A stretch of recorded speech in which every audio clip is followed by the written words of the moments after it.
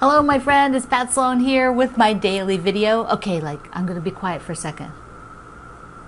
Do you hear the cicadas? I left the door open to my deck from the studio. So if you hear this sort of resonating hum, hmm, that's the cicadas. and I have to tell you, I took a walk before lunch today and had to they're like they're swarming everywhere right now. They're flying. Lots of them are flying. So they landed on my legs, they landed in my hair, they landed on my arm, and I was like, ugh. So I'm going to have to uh, walk a little earlier because earlier in the morning they're not as active and they're not flying around. So I'm going to have to shift my walk a little bit. Alrighty. so the on the on our um, blah blah blah. On our calendar i had to one of the days was to celebrate our brothers which i didn't do on that day. So today we're going to celebrate quilts you made for your brother for an uncle for your dad for one of those men in your life your nephews uh, you know your kid your your son your husband. What quilt did you make for a guy in your life? So i've showed you my uh, traffic jam before, but here it is again. And this was sent to my brother. He is a huge Grateful Dead fan, and so um, the spa, Cindy and Dennis found a Grateful Dead quilting pattern, so it was all over patterned with uh, images, some images from the Grateful Dead. Uh, and he loves it. It was so great, so great. And I had to make it was a special order to make extra big because he's a tall guy, he's a big guy, and he was like, I need a bigger quilt. The other ones don't wrap up. So that's his. so share them over at my Facebook group, Quilt Along with Pat Sloan, or at my last blog post, uh, either where you, da- you know, wherever you want to share it. Whatever. We just can't share them here at YouTube. They don't have that function to share a photo. So there's a couple things coming up that uh, I want to share now. I don't have dates, but I'm just going to share that they're coming. Uh, the Fat Quarter Shop, I have partnered with them to help me put a kit together to do this little darling quilt. It's not that little, 52 by 60. It is the Woodland Wonderland quilt by my friend Joanna Figueroa. And we are going to do it in her newest fabric line, which is um, has like light oranges and light greens, so it's a little bit of a fall feel to it. Uh, this one was done more like a little bit of a Christmassy, like the darker red. So here is a mock-up of this done, the kit done. But you don't have to make it with the kit. You can make it with the kit, uh, it, but it's not available yet. it worked. It's just the way it is. Everything is taking a while. Um, the supply chains are a little, uh, a little slow. So the kit will be out fairly. We're hoping soon. We're hoping soon but you can also just do the book. You need to get the book anyways. Uh, so the book is now available. Well, has been available. You can down download. The link is below to download uh, and subscribe while you're there, so we can be friends. Mwah, mwah. the book is darling. Let me tell you how we're going to how we're going to work this, and it will be running this fall. So you have time, but you can get ready, particularly if you're going to use your own fabric and you want to. You could mimic this one these colors or if you want to wait for the kit then everything will be in it so the the book is laid out in chapters uh, there's some basic stuff so you know so pretty much by chapter you'll make something like this is making the mushroom uh, and then then you make you know like then you make like one of the blocks here so what I will do is follow the book order whatever that is. So like here down here the mushrooms. But I'm also going to do a few of these things extra. Like I might do a table runner with just the gnomes and the mushrooms and the tree. Because I'm thinking like I have to measure that out and see. But I might just do a few of these. And I definitely am doing an owl and I'm definitely doing a porcupine.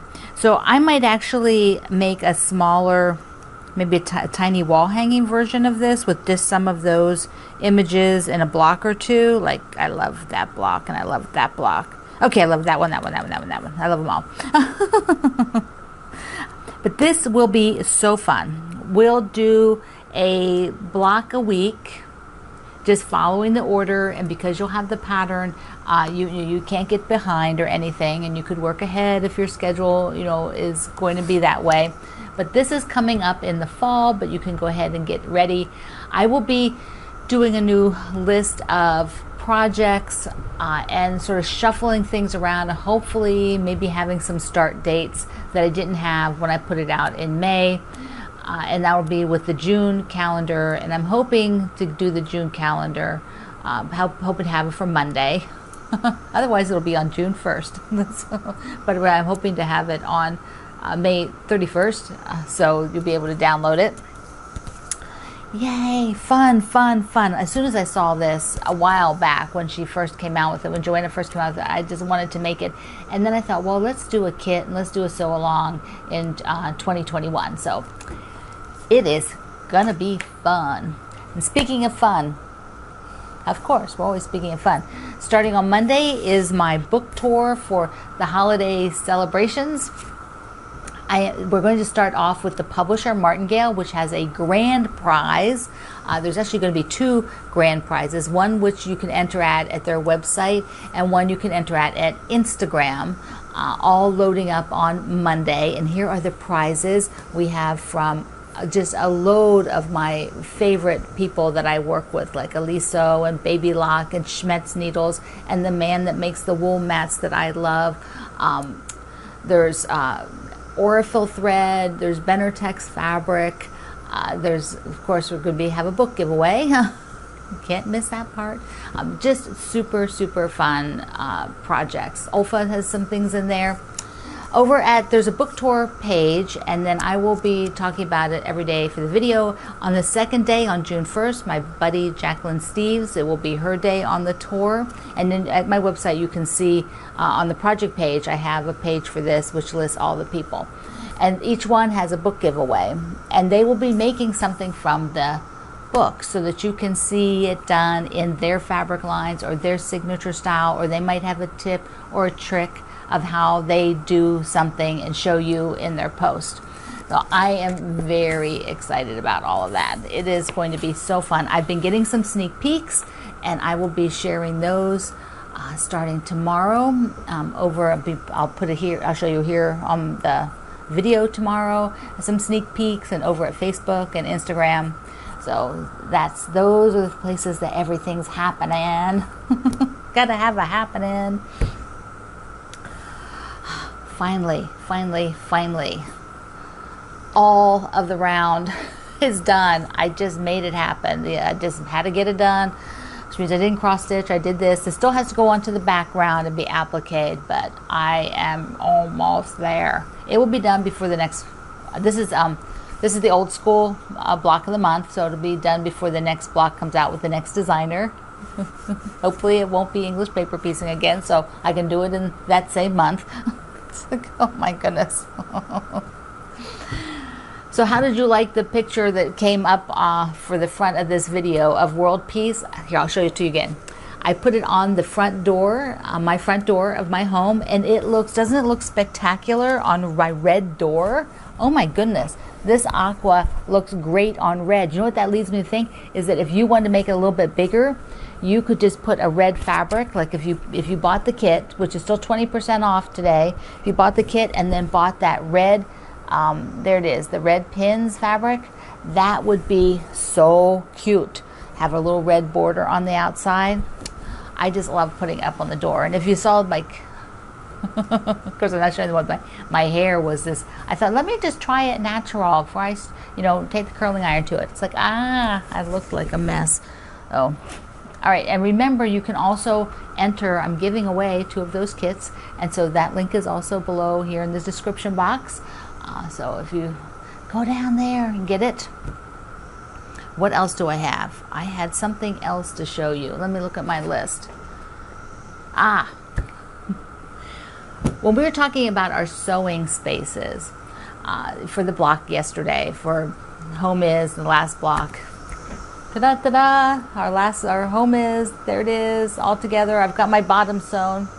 But when we were doing the talking about sewing spaces, I thought I'd just share with you what my sewing spaces have been over the years because I don't have pictures of them, but I'll just tell you because I was thinking, you know, wow, I've been uh, really deliberate and determined, and no matter where I lived and the kind of place I was in, to have a sewing space.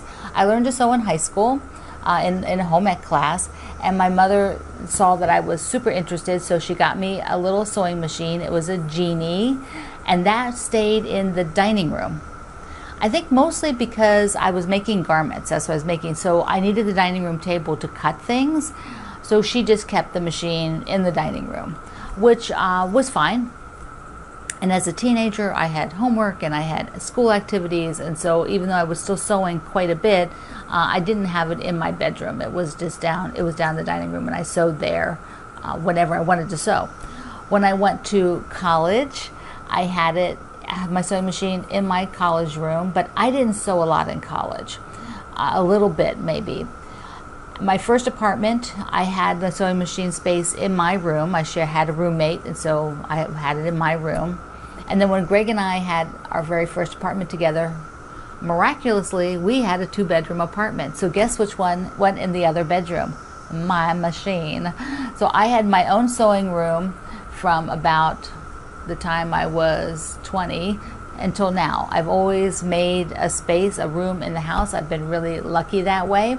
Uh, so there's always been in uh, one of the bedrooms, whether I shared it with the guest bed, which I often did at one point, until I was like, well, no guests ever come and stay here, so we don't need a guest bedroom, and so this is mine.